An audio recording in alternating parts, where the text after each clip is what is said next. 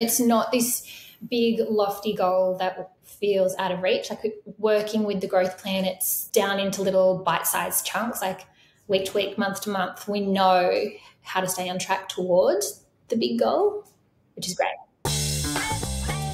Welcome to the Agency Hour podcast, where we help web design and digital agency owners create abundance for themselves, their teams, and their communities. And if you've been listening to this podcast for any time, you'll know exactly what I mean and why that is our mission. This week, we're joined by Sarah Cutts and Kaitlyn Johnson from The Social Haus, based in Newcastle, in New South Wales, here in Australia. The Social Haus is a digital marketing agency that specialises in hospitality, food, beverage, and lifestyle brands. This is a really fun conversation. Uh, Kaitlyn and Sarah in the Social Haus are in our Mavericks Club Mastermind, so I want to be fully transparent about that. In this episode, we dive into their truly inspiring origin story, how they got together, how they launched the Social Haus, how to tap into all of the resources inside Mavericks Club, or in fact, any mastermind that you're in. These guys are just using their engagement with us really successfully and uh, getting the most out of our engagement because they're doing it right, uh, as well as the magic bullet for agencies, otherwise known as paid discovery. We also discuss overcoming the mental barriers required to sell paid discovery, how to get paid more for the work you're already doing. They actually, in their words, they say that the, the best thing about joining a Mavericks Club is that they now work less and earn more. And every time I say that, people think I'm a lunatic or I'm some kind of, you know, uh, shark salesman that I'm absolutely full of it. And you're going to hear it from the mouths of our clients. It is a real thing. You can earn more by working less. It's called leverage.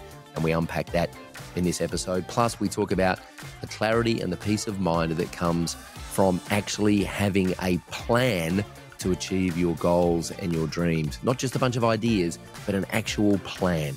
All that and a whole lot more. I'm Troy Dean. Stay with us. All right, ladies and gentlemen, without further ado, please welcome to the agency hour the lovely Sarah Cutts and Kaitlyn Johnson from The Social Haus. Hello, ladies. How are you? Hello, Troy. Hi, we're Thank- good. Thank you, Troy. That's How are good. you? I'm good. Thank you so much for joining us on the agency hour. Uh, for those that don't know, just give us a little bit of a, you know, too long didn't read version of what the Social Haus is, what you guys do, who you do it for, all that good stuff. The Social Haus is a boutique digital marketing agency, and we love working with lifestyle, tourism, and hospitality brands. Cool. I will add to that. Yeah. Yeah. Love it. Uh, that's very succinct. You've obviously put a lot of thought and effort into the target audience and the clients that you love working with. Um, What can I ask? Everyone's going to be thinking this. What happened during COVID dealing with those kinds of brands? And I don't know the answer to this question, so this is not a trick question. I'm just genuinely curious. Like, how did that impact your business? It's funny. So in COVID, we weren't so much focusing on that industry. That's been um, a new kind of audience that we've just recently started targeting. Um, we only really launched in COVID. Oh, right. So Wow. we are a COVID baby. Yeah, we Cool. launched 2020. Love um, it. mid COVID. And I would say um, I was made redundant in COVID from my previous role. Right. Um, COVID for a digital agency was probably a really good time to launch. Yes, that's right. you can Yeah. say that. Yeah. Um, oh, absolutely. Yeah, we, we, we found we found probably the bottom thirty percent of our client base and audience kind of fell over during COVID. The top thirty percent just about doubled, and Mhm. everyone in the middle just kind of you know scrapped their way through. Um, what, what what was your role before you started? What was the role that you made redundant from? Was it a marketing role? Um, it was a marketing role, brand experience. It was for a very big retail company, Got it. um, and they made majority of our team redundant at Yeah. that time. yeah, and it probably Mm. makes sense during COVID that Yeah. that would happen. Um, so tell me something. How did you? First of all, how did you girls meet? We met through our Partners at the time. Well, Sarah's still with her partner, so Oh, right. that's one happy. Excellent. Now we're getting now we're getting into the juice of things, and we're only five minutes in. This is great. yeah. So we've known each other for about six years, seven years. Cool. Um, our partner or fiance and ex partner were very good friends. Got it. So they introduced us, and we've just, I've always felt like we've had really similar values, although we weren't really close Yeah. um, at that time. I've Got it. always aligned with Kaitlyn's values. And is, is your background in marketing too, Kaitlyn? Yeah, it is. So um, my background is tourism and um, construction industry, really. Huh. Um, very different, but I worked in house in marketing management positions there. So, um, two pretty long stints. So, I've got that client side experience down pat. Awesome. Yeah. And and how how risky was it um, to start your own thing? I know there's a lot of people that listen to this podcast that are just starting out or haven't even started yet or are a few months in. How mm. risky was it to make that decision to start your own business? For me, it was something I'd always said I would do. Um, I always told my family that I would work for myself, but I feel like I got a bit comfortable working for eight. Like I was working mostly in house at agencies, then mm-hmm. I got this brand experience role. Um, I always said I'd do it, but I was just a bit lazy because I had a cushy income and I never mm-hmm. really had that push. So for mm-hmm. me, it was just like, well, I've been made redundant. Mm. You may as well just go for it. I did have the um, luxury of living with family at the time as well, so mm-hmm. that that helps. Helps totally. I think for Kaitlyn, it was probably a little bit different when she came on board. Yeah, well, I think with my first job out of uni, which was in tourism, that was pretty good job and I enjoyed it. The next job I took, I used to describe to people as it's not my dream job, but it helps me have my dream life because mm. I guess similar to Sarah was it was a, a good income. Um, it was challenging enough, but I didn't find it hard or have to take a lot of work home. And um, I was planning to have a family sort of in the mm. medium term. So I was like, oh, you know, like it's not my dream job, but I got a pretty good life resulting from it. Mm-hmm. Um, but then after like a few things changed and I just, it just didn't fit right with, I guess, my values and what I wanted from life. And having that outside work satisfaction just didn't feel like enough. Mm-hmm. Um, so I did do, I dabbled a little bit, freelanced a bit to Sarah because she mm-hmm. launched the Social Haus in COVID and I was still doing um, the corporate thing, I guess. Mm. Then um, freelanced a little bit, always really liked her, liked what she was doing. I had my second baby and then she had floated the idea of me becoming an employee, actually. I couldn't afford Kaitlyn, to be honest. When I brought her on as a contractor, it was, I think I offered her $45 an hour, um, which is all I could really afford at the time. Yeah. Um, but she said yes, yeah, which was great. It was like a short term pain for a long term gain. And yeah. then I was like, look, I love working with you, but just employee, I don't know, what do you think about business partner? And for a while she sat on it and was like, oh, nah, like I've, I've got a good thing here. And I was like, but imagine what we could do together. I was the mm. first year, I was earning really great money, but mm-hmm. I was so stressed and busy. Mm. And so bringing Kaitlyn in was just like, I don't think I've been that stressed since, to be honest. It's just been great lifestyle, since working with you guys, the money is also starting to like get back to where we want it. Mm. Great. And it's just been really good. Yeah. Great. So, um, you, so full transparency, you guys are in Mavericks Club, which is our mastermind. You started off in a mm-hmm. program called Sales Accelerator mm-hmm. and then kind of had a, which we'll unpack and we'll talk about. You had a lot of success in that program, took massive action, got some results, and then ascended into Mavericks Club. How did you find, and so actually, before we do that, why why social media management? Like, why not SEO or branding or web design? Like, why social media management? And is, and is it orga- is it organic or is it paid social or both? So we actually do do web design and SEO. So we uh-huh. consider uh-huh. ourselves to be like a full service but boutique agency. Yep. Um, I primarily launched a social, which is both organic and paid. Mm-hmm. Um, my favorite thing are, are Facebook ads. Mm-hmm. Um, but since we've joined forces, Kaitlyn is like incredible at SEO. Um, mm-hmm. We offer Google ads now as well. Hmm. Um, but socials were our core service to begin. Got it. Cool. Yeah. Um, mm. So, uh, nice segue. How did you find us? How did you come across Agency Mavericks? Was it a social media ad by any chance? It was. it was a video out of you. oh, right. Um, what was I doing? oh, dear. You Here were talking. Go. Of course, I was talking. Was I playing the drums or burning a proposal or doing anything else interesting or just talking? I don't think it was a drum video, but I have since right. seen that one. And what, what was it? What was it that made you respond to the ad and go down that rabbit hole and end up in our funnel? So we, I think we were very quick with our kind of customer journey with you. You were. I had been looking for ages for somebody, an agent that specialized in agencies. Mhm.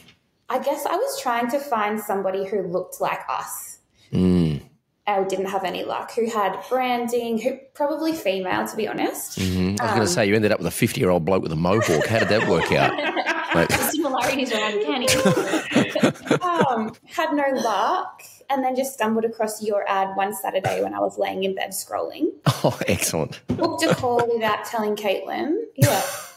and She texted me, I think, yes, it's Sunday, and was like, tomorrow morning, 9 a.m., we've got this call, and I think they're going to be like the great agency mentor from us. And I was like, I don't know, like, we, do they look aligned with our brand? I don't know. Like, are they going to get us? But we fell in love with Damien Uh huh. mm, as well. Like we, yeah, just thought he was incredible. Yeah. Um, and yeah, it was just very quick. It all sounded amazing. We wanted to learn his skills because he was just so incredible at like, mm. um, yeah, just speaking with us on that initial call. we got off the call and we were like, okay, if we can learn his sales skills, this is definitely the course for us. Like, Mhm. he was just really helpful and didn't feel salesy, but Mm. wasn't going to let us get off the call without committing. But we were like, he was good. and I Yeah. don't think we'd even visited your website or your Instagram or anything at that stage. We just had that call and we were like, okay, we were ready. We were ready Yeah, to go. Uh, and so then you joined Sales Accelerator. And what happened? You you because because on my end, what happens is people join our programs, and I see them pop up in Slack, and we get on a call, and we say hello, and then I just see them sharing, asking questions in Slack when they're stuck, but also sharing what's working. And I just kept seeing you guys pop up in Slack all the time. So what happened in the first few weeks? I mean, obviously you're massive action takers, but what did you do specifically that got you momentum when you joined Sales Accelerator? I, we just committed. Like we were, I think we have signed up with other training courses and bits and pieces, and we've been like, oh yeah, we'll get to that. Mm. But this one, we're like, no, we're, we're all in. We're learning these skills. We're applying them straight away.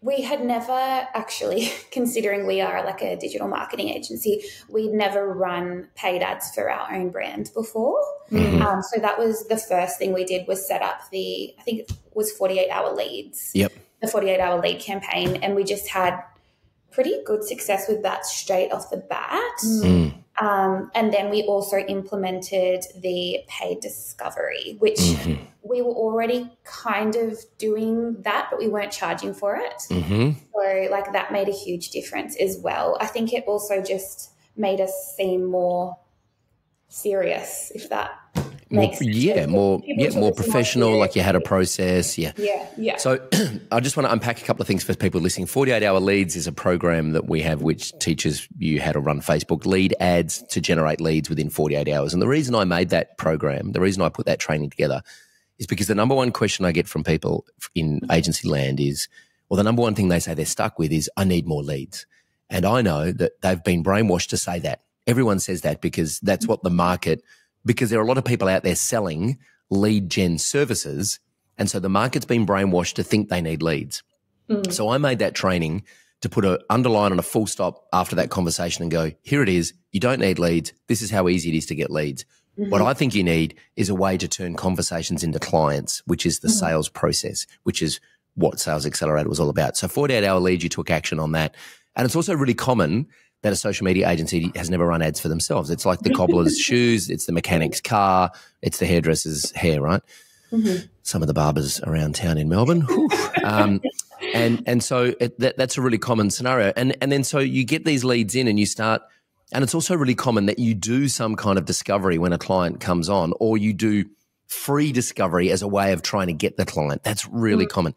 I've never seen anything work quite like paid discovery. It is a magic bullet. If there is such a thing as a magic bullet in our business model, paid discovery is it. So what I'm curious, like what mental barriers did you have to overcome to actually pitch your first paid discovery and tell the client it was going to cost, you know, twelve hundred dollars or whatever the price point was? I don't know. I think um, having having you guys in our corner, pumping our tires up a bit, just to like do it, it works, really helped. We just kind of went for it. We thought, well, at, how our process previously was before working with you guys, we always included a like a workshop or a strategy component, and that was the first thing on the chopping block for the clients. We're like, oh no, can't afford it, or we really want to work with you, but that's just pushing our budget too far. We'd mm. end up having to do the strategy anyway, because we mm-hmm. need to do that to do that's the right. work. That's right. So um, this way, we were saying like you must like you do not pass go, you do not collect $200 mm-hmm. until you do yeah. this. And this is how much it costs because it's mm-hmm. good. mm. And um, we had, we just had success with that uh, more or less straight off the bat. And yeah. that gave us the confidence to be like, great, this gets us what the clients need. This gets us what we need. This is, we didn't feel bad about like charging for something because we knew it had a lot of value. Right. And now it's also, I find, like I had a call, I don't think I've spoken to you about this just earlier in the week. A good way of pre qualifying people. He called, he wanted to chat. He actually wanted us to come in and meet him. And I said, sounds like, sounds great. Let me just tell you about our process. Initially, it's this $1,800 investment. And from there, and he's like, oh, okay, like that's actually too much. And I was like, no problem. We won't waste our time. Like yeah, I've framed totally. it wasting our time, but yeah, yeah, of course. And I'm not driving to your office to find out you don't have $1,800 to spend on a workshop because, yeah, exactly. I think one of the things that really helps with paid discovery is having the confidence that your team can deliver what it is you're scoping out in paid discovery.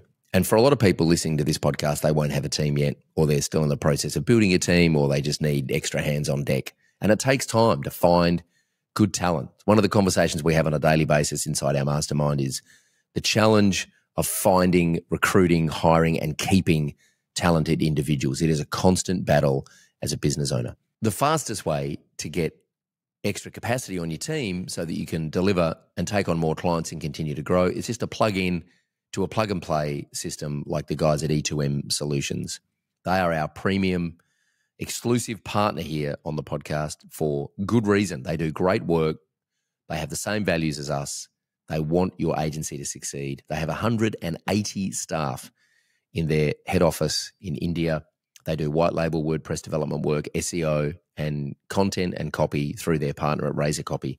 So reach out to them, have a conversation about where you're at, what you need, and see if they're a good fit to work with you.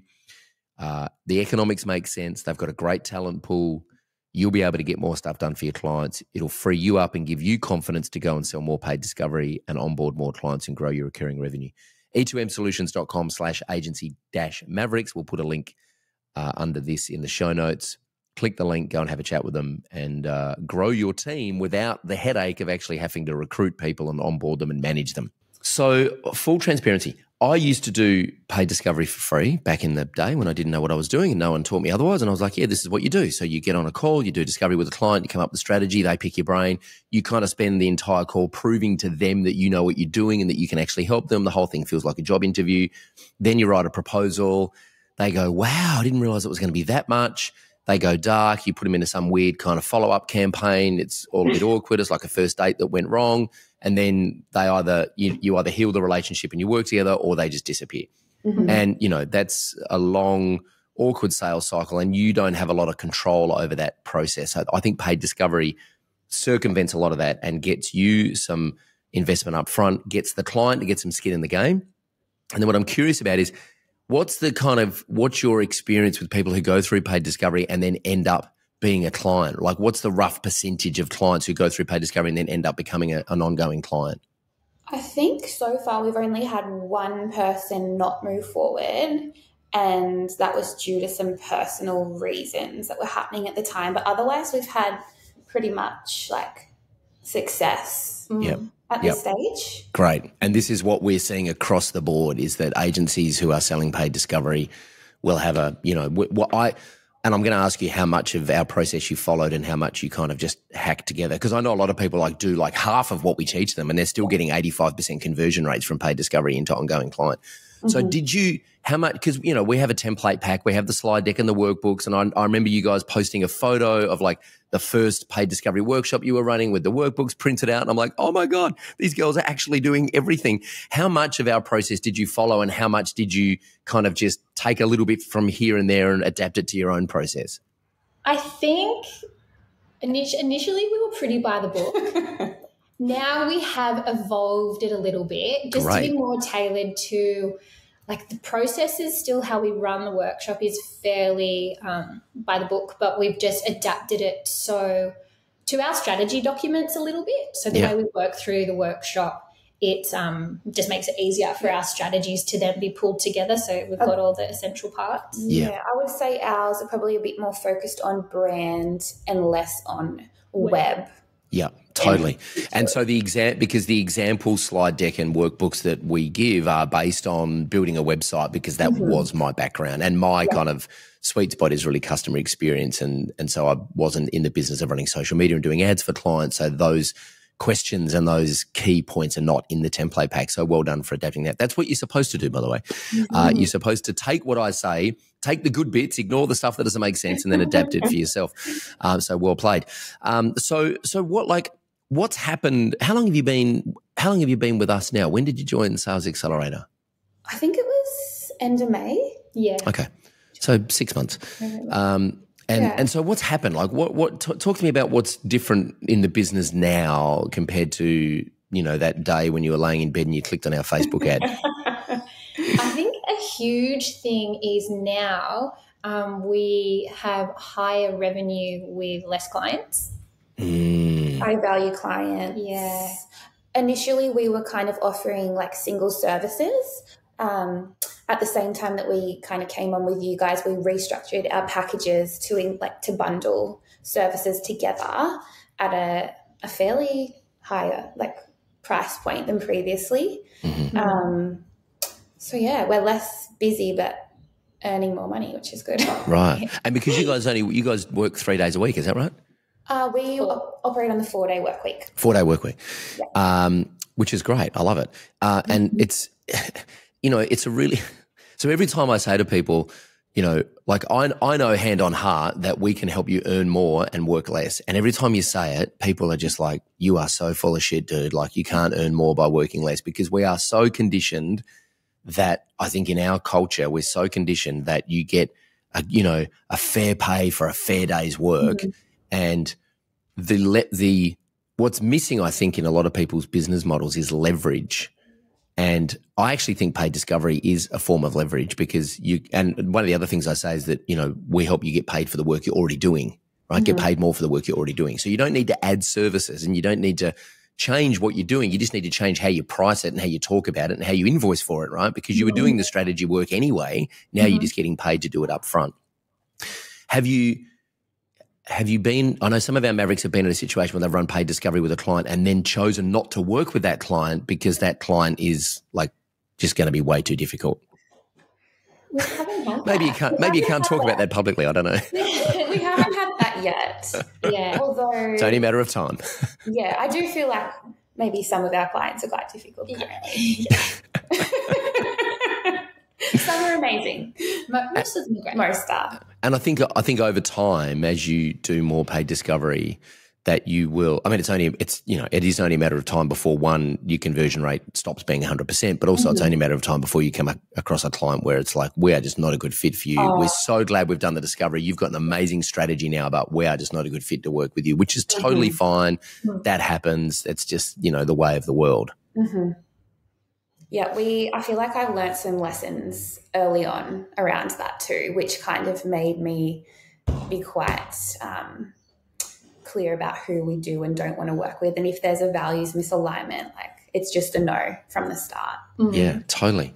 And I think also having at this stage of the game, and you know, five years from now, we might be having a different conversation because hopefully more agencies will be doing paid discovery. But I think having that eighteen hundred dollar investment up front is an instant differentiator from all the other you know freelancers and agencies out there, and I mean that respectfully, who are just happy to jump on a call and I can pick their brain for half an hour and kind of do that whole job interview old model. Whereas having kind of like a, a boom gate at the front of your, your business, really, which is a filter. It's like, well, in order to start working with us, it's an $1,800 investment. It's just an instant differentiator. And I think it makes you, the perception is that you guys must be good and you must know what you're doing mm-hmm. because you're happy to turn clients away if they can't make an $1,800 investment. So you're not mm-hmm. operating from that scarcity mindset. You trust the Mhm. process. You've got enough clients. You've got enough revenue. You're in a position now where you can have that filter. And I think that's a, you know, that's a really good differentiator from what most other people are doing in the market. Yeah, absolutely. I also feel like it kind of gives potential clients a little bit of security almost too, because we kind of pitch that as, you know, it's an initial investment of $1,800. You get a comprehensive strategy. But if, for, uh, like, for some reason you choose not to work with us, you can take that and go. So you don't actually have to lock in to work with us at that point. That's right. Um, which I think is also benefits them too.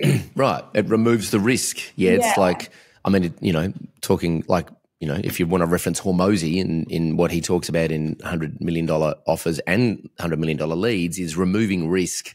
If any way you can remove risk will actually help people feel more comfortable with making that mm-hmm. decision. And so rather than trying to pitch someone a $12,000 website, which is a big commitment and could take four months and could derail, an $1,800 investment up front is definitely lower risk. And yeah. as you said, they end up owning the strategy at the end of it, right? So it's theirs. They've paid for it they can implement it themselves, they can take it to another agency, or they can come back and hire you to help them do it. Ideally, yes. Yeah. Um, so tell me, I also want to talk. I was talking to a Maverick yesterday who uh, is in a similar position as just, you know, come in, taken massive action, gotten great results, grown their recurring revenue from zero to about 15 grand a month in a very short space of time, which has been amazing to see. One of the things that he said was, um, and I always like to think I'm the smartest person in the room, but I know now that that's just not true, unfortunately. And one of the things that he said is that he gets massive value out of hanging out with the other agency owners in the Mavericks community. I don't know much about the way you use Mavericks Club, but I'm curious, like, apart from, you know, you apart from hanging out with your client success manager in, in your squadron, do you, how else do you tap into the resources that we've got? What's your, what's your kind of mindset there? Because you, you did say that when you joined Sales Accelerator, you were just like, right, we're 100% committed mm-hmm. to getting results out of this. Probably way more expensive than any other course you'd bought in the past because it's not actually a course, it's a coaching program. So I mm-hmm. guess that financial investment too is like, well, we have to make this work because it's yeah. not mm-hmm. it's not a two thousand dollar course, it's a significant investment. But how else are you approaching your engagement with Mavericks Club to make sure that you get the most out of it? Well, it was probably a couple of weeks ago we encountered a challenge with a client's ad account and we just it wasn't something that we'd experienced before. So we were able to reach out and utilize like people who were probably more experienced than us in that area mm. which was really helpful. Yeah. Um, yeah. We sort of had a hunch about something and we could throw it to the brains trust and they were like yeah this is my experience. And everyone has just been so open to share that. It doesn't mm. feel competitive. Everyone's just really open and willing to help each other out. Yeah. Oh, that's great to hear. Yeah, I, I feel like we try and set that tone from the start, right? That it's mm. this is an abu- you know it's an abundant world. We all have an abundant mindset. We're all here to help each other. Um, I've I've personally turned people away from Mavericks Club before who have told me on sales calls that they want to come in and kind of pitch to the agencies that we have because they do white label services and they see this as a great opportunity. And I'm like, no, no, no, that's not why we're here. Um, we try and keep it a, a, safe place where there's no none of that going on. But there is a really good internal economy in the community as well, where mm-hmm. people just end up partnering with each other and working together and, yeah. and helping each other out. Yeah, for sure. We've met with a few Mavs and had a discussion about some kind of collaboration. So it's been great. Yeah, mm. awesome. Um, so tell me, what are you what are you most excited about in 2024 in terms of the client base that you're working with, and also your service offering, and how you're looking at growing the business in 2024? Ooh, good one, big one, big question. um, I'm really excited because we have some pretty firm goals. So we've always spoken about the type of business we want to create in terms of culture and the type of um, like income we would like to have for ourselves. And I think now we have this plan in place where we can really feel like we have a path forward to get there. But it's achievable. Yeah, yeah. Like we've always had faith in ourselves and in each other that that would happen eventually. But now we've got a timeline on it where we're like, okay, sweet. So like early next year, we're getting cars. yes that, the, the, of course, the company will be paying for for tax reasons, right? Absolutely. yes. Yeah. One of my highlights, I so think, good. from like Mav Club was doing the revenue growth plan. Oh, I'm so glad you said that. I was going to tee you up to talk about that because I know that's given you guys so much clarity. So yeah. lay it on, bring it on, bring yeah. it on. It was something we've been speaking about, and we kind of thought, oh, we need to find an accountant or somebody who can help. We have found an accountant, but somebody who can help us outline that. Yeah. And it was exactly what we needed like sitting with you guys, seeing what we're currently earning, looking at our expenses, and actually having a plan on how we Mm. can reach our goals. It's not just a dream, but it's actionable steps to take. Yeah, and it's not this big lofty goal that feels out of reach. Like working with the growth plan, it's down into little bite-sized chunks, like week to week, month to month. We know how to stay on track towards the big goal, which is Mm. great.